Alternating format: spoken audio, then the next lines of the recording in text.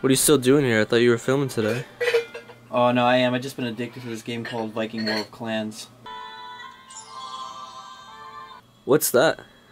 Well, now that you asked. Vikings is a totally free game that is similar to those awesome top strategy and RPG games from the 90s. You can pick your own playstyle, whether you want to build an epic city, raise an army to rule the world, or gather up a bunch of friends and just build a huge army and destroy castles. Play this game for 5 minutes and you'll see why 12 million players are addicted. Guys, by installing this game, you'll not only help me to create good quality videos for you, but you'll definitely like Vikings as well. Support my channel, download Vikings from the link below, and get 200 gold and initial protection shield for free. That will give you a good head start. What I look? I look good, right? I different? I shaved the beard. I've been boxing lot. I've been working out. I feel great. I'm not gonna lie. I'm, but I'm also gonna say I did not expect boxing to be so hard. The cardio, I gotta literally push myself to the limits. It's insane. That KSI and Joe Weller boxing match is coming up in roughly 23 days, so I have to keep going. But besides all that, I have to also say who I'm gonna fight because I told you in my last video. I'm gonna tell you who I'm gonna fight. This is who I'm fighting. This guy right here, Yusuf. A lot of you may know him as, you know, another urban explorer or as the 24 hour challenge dude. Now, this ain't a beef fight. We have no drama with each other at all. We're not gonna fake drama. It's just a friend to friend fight. But none of us have ever, ever, really boxed. I've never boxed in my life. I think he's done some sparring and some boxing before, so he has a bit of maybe of a head start. Oh, I hope I can win. but anyways, that's coming up soon, and I'll be posting some videos of me training and stuff. I've been so busy in boxing and training that I haven't been able to actually post abandoned videos or even vlogs. While the whole Exploring crew is back here, they're all actually currently at Cody's house having fun and filming, I'm here actually training hard.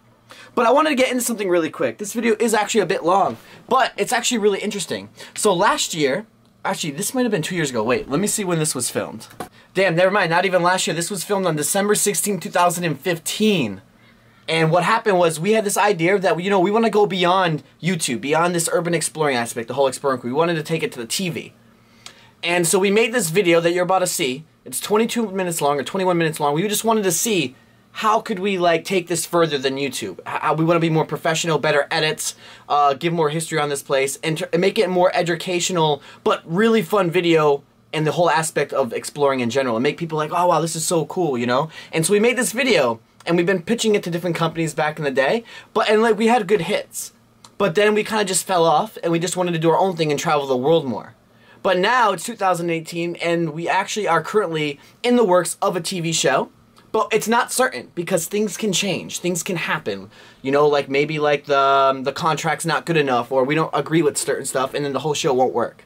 And I am trying to get this show on the road for 2018, which is yeah now 2018, new year, new me, baby. Anyways, so yeah, I always love to get out of my comfort zone, and I like to push and I love to do new things. I like to try everything once, except drugs. So yeah, here's this video. I just want to show you it, get you guys an idea of what's going on. And yeah, hope you guys enjoy. Thank you.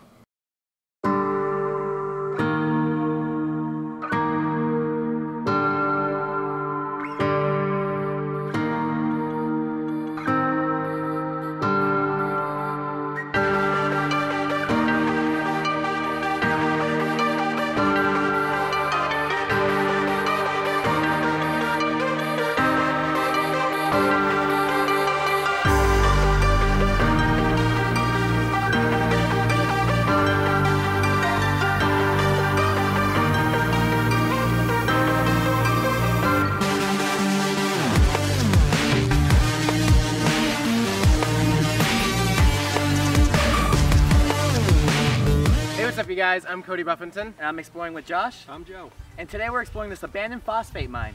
It opened in 1906? And closed in 1995. Let's go do some urban exploring. Let's do it.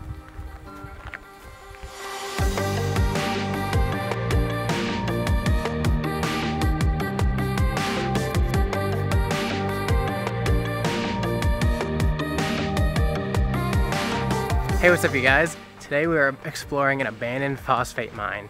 One of the best things I love about urban exploring is the fact that you're going inside these old man-made structures, buildings, and and you don't know what you're gonna see, what you're gonna find. It's it's amazing that you're just reliving old history, coming back from its past, and it really has a special feeling. It is huge. If you look around, It's the biggest place I've ever been. We're gonna go climbing up in this place. Uh, this is where the phosphate, which was used for fertilizer for agriculture, uh, in some places. They would uh, have this. This is where the phosphate would be processed, and it would come up here, and this is where it would be finished. And then down here, over on, uh, can't see it yet, but there's a little place over there where it'd be dropped into uh, the train carts, which you'll see the train cars over there, and that's where they would take it off to wherever they would ship it off.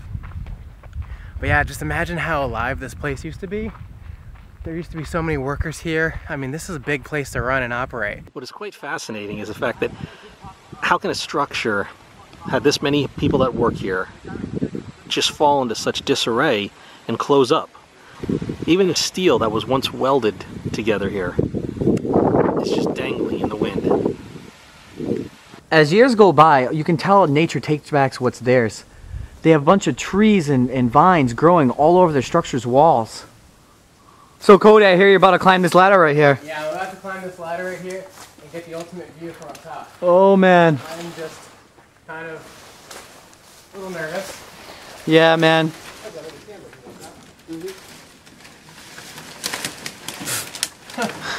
No.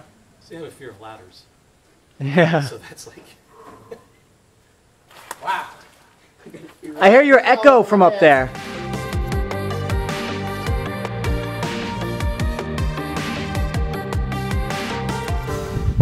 Jesus.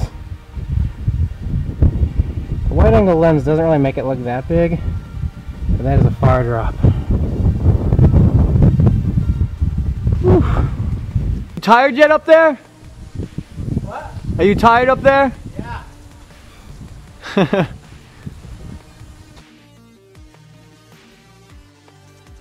These are the stairs I just climbed up.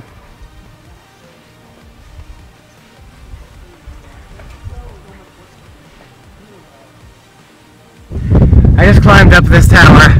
I'm at the highest place you can get on this tower now. And this is my view of the whole compound. The whole phosphate mine from up here. And there's there's hornets up here. oh man. Look at this view. This is something. Josh and everyone decided to stay down there, but I figured I had to get the shot. This is definitely worth seeing.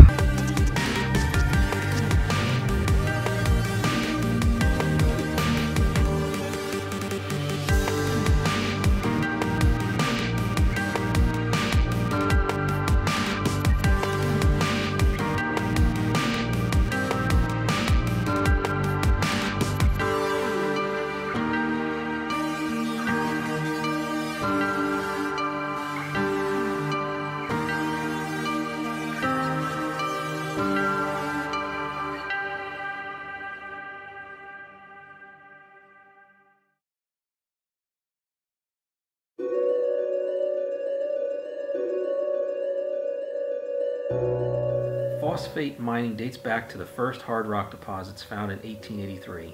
1920s through today, dragline cranes are the prevalent method of mining, removing about 15 acres per month on average.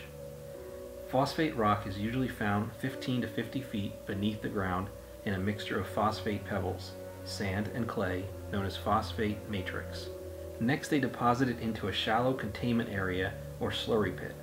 There, high pressure water guns turn the material into a watery mixture called slurry, which is sent through pipelines to a processing facility referred to as a beneficiation plant, where phosphate rock is physically separated from the sand and clay in the matrix. At the plant, the slurry is moved through a series of washing stations and vibrating screens that physically separate clay, sand, and pebble-sized particles. Everything has been like run down. I'm assuming van- vandals have came and probably um, took whatever scrap they could out of this place. That's for sure. I'm sure this was used for something to, uh, some sort of lever to let the phosphate drop through. Oh yeah, you're right. Wow. That's a bit used. That's ridiculous. Somebody sledgehammer that without the handle. This looks like the turbines that would spin the uh, phosphate, and this would then get sent through those tubes over there to the next zone for processing. How do you, their workers' hats are still here. Now that's cool. What else is back here? Let's go, let's go, let's go check this out.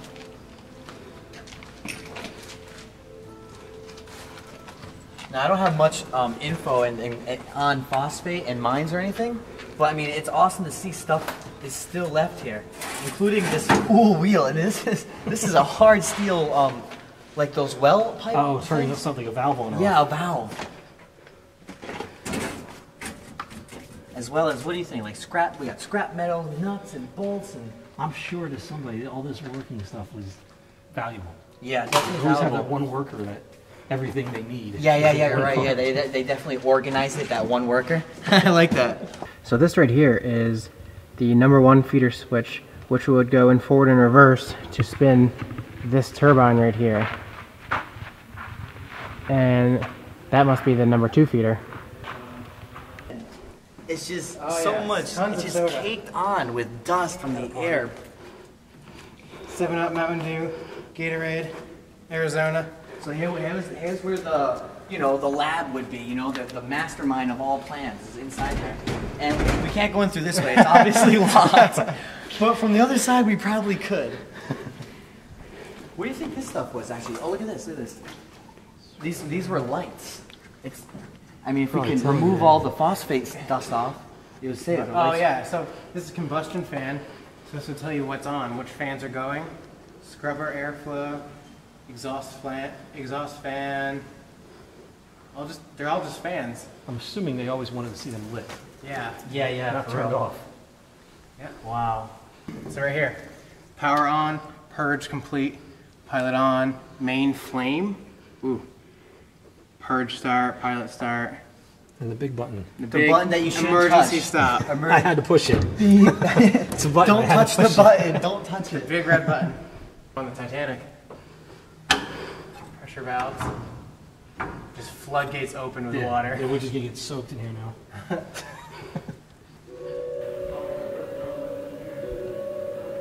Pressure gauges all over the place. Gotta check that PSI. Might be a little dark in this like control room. This is pretty much where all the magic happened. This is where all the magic happened. This is uh all the on and off switches. All the uh, temperature valves. All the schematics. pressure gauges. Wow, exhaust fans, dryers, everything. You just monitor it from in here. Monitor these pressure gauges all day. Whoever did this.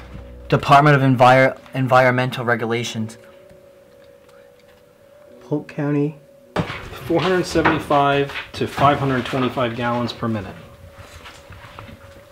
Wow, that's, That's a lot of water.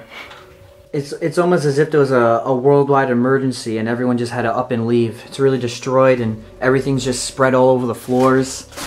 Dust is all over everything. You can't even really make out what what's everything's what anything even says. You have to like touch it and move the old dust off. They put in three different keys for different things. Probably really activated, huh? Yeah, so like three different people maybe. Yeah, for real. The manager, or the you know the person who really ran it. Yeah, those are all for interlocks. yeah. Oh yeah. There's three different interlocks. Yeah, they Interlock bypass. blueprints. The old blueprints are right here. All the schematics and maps and I don't know if this was hand drawn. I know the the old blueprints are all hand drawn. Flame safety system. Yeah. Yeah, so this looks like an eye wash station. You get chemicals in your eyes. That's where they ran to. Yeah. Fire extinguisher as well. And actually, the, it's a rubber hose. It's not even like a steel hose. You can tell this is old school. Yeah. Just runs outside. Just flush the chemicals outside into the, chemicals. grass. Yep, right out to the grass.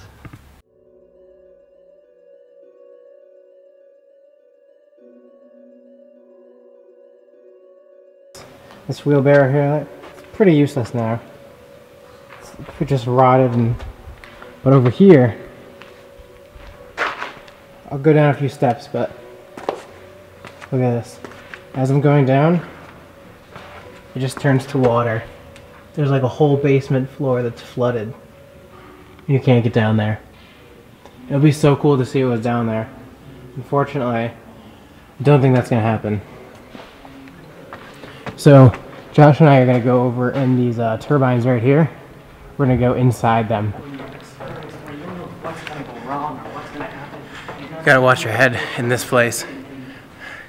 Gonna get like a rusty uh, something in your head if you don't watch out.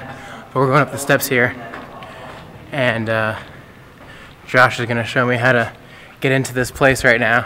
Yeah. and How do we do this? Well, I'm gonna go ahead and get my mask out of your backpack. That's for sure. How'd you guys get up there? Which way did you go?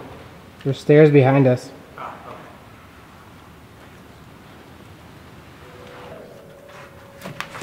oh! he made it. These sharp blades break up the clay and the sand, and as you'll see here, there's still some phosphate left at the bottom. This tube pours the minerals and phosphate into the turbine, and these jets shoot high pressure water. As you can see around me, these little things would be spinning in here. If they were spinning right now, I'd be pretty dead. but uh, yeah, it looks like there's leftover phosphate all over the ground. This is a really cool turbine. It looks like the uh, pipe down there is where the, turbi- the uh, turbine would spit into phosphate and it would flow down here. Woo! These pipes take the slurry down into the floor and dump it on the conveyor belts, which then transports it to the beneficiation plant. We're going up the conveyor belt now. This is crazy. This is all flooded with water right here too. And this is something right here. Yes, it is. Just watch your head. We're right on the ground floor level too. There's grass right here. All right. Can you stand on this? Yeah, you can stand on it. You go up to this point, then you're. Okay. So, We're heading up the conveyor belt here, and it is steep. It's like going, it's going up an uphill roller coaster. Watch out for that hill, little cut, Cody. Almost died. Almost died right there. For real. All right. This camera's getting heavy too. Separate the phosphate Watch out for the floor. rock and the sand. We just walked up that conveyor belt and we're in the benefication center now, which is a whole nother building. And basically, it just separates the phosphate from the clay and the sand and all that.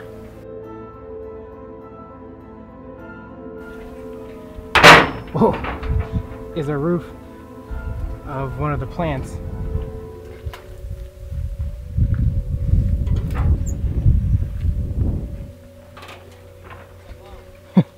So a hole in the wall. We're on the roof right now. There's a lot of plants growing. Right now we're on the roof currently of one of the centers and we have quite the view. Come check this out.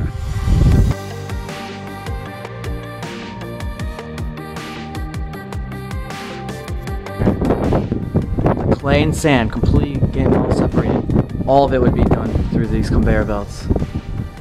And the crazy thing is, all of it was stored down in here. It's a bit, very big drop. I'll get closer as we go.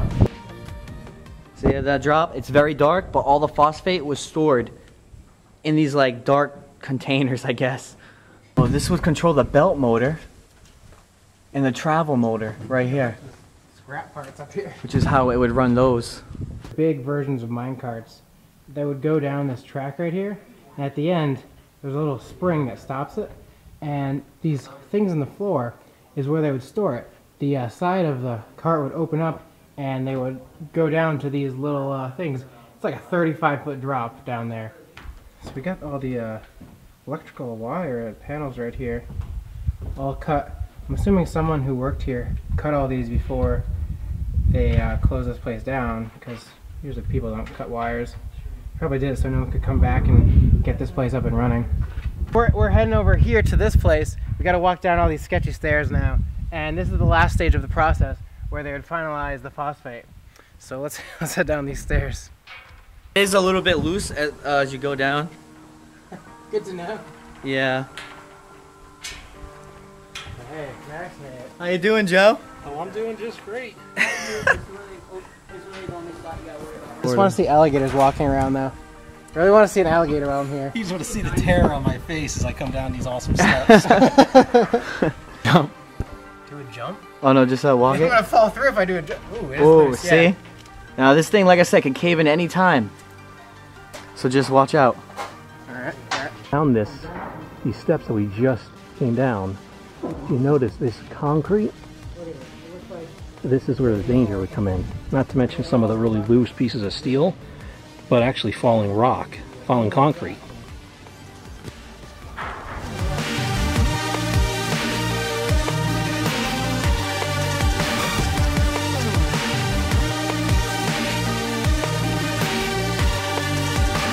So the final stage, the phosphate comes up here into that long tower. Then it's gonna somehow it scales all the way down and there'll be a cargo train right around here and it drops it in and we're gonna go get a closer look at it. Here we have the cables that run up to the control booth. These are the drops which handled the phosphate as it was dumped down from five stories up.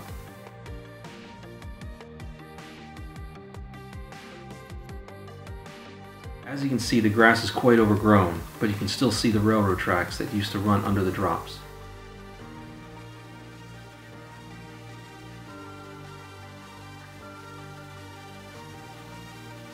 So it looks like this is where the captain would sit and man the ship. And all the stuff down here, he would just be pressing the buttons and operating it and telling the train when to go and all that. Wow, yeah. All from this captain's chair right here. Face mask right here? Oh wow. I never seen that last time. Yeah, look at that. Old phones and computers. What kind of computer is this? Oh, it's IBM. It's the IBM 200 or no? So here's actually where everything dropped, the phosphate stuff. And I have to duck because it's a very low ceiling with a pipe going right down the middle. As you can see here, comes up and down below to where we were underneath for the train. That's where it picked it all up at. This is where the other conveyor belt comes up and brings all the phosphate, brings it up here into there, and then it drops all the way down into the train cars. Some process. all right, guys, so we're in the third building now. Uh, we just came from the benefication center, and there's conveyor belts that go from each one, each building to each building. And so there's one right here that goes up and brings the phosphate up to its last destination. And before it hits the last destination, there's a big magnet, and anything that didn't get taken away from the last two phases will definitely be taken away here with this magnet. That goes for diamond, gold, anything that could be related, anything metal, pretty much. Before it's then transferred down into the uh, cargo trains below.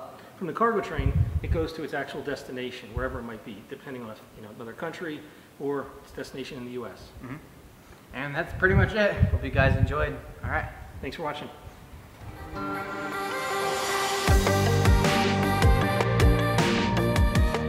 The Nichols mine was the largest phosphate plant in the country during its prime. The plant had an annual production capability of 1.4 million tons. At its peak, the plant employed over 500 workers. The entire phosphate industry has had many ups and downs, where many plants would do temporary layoffs.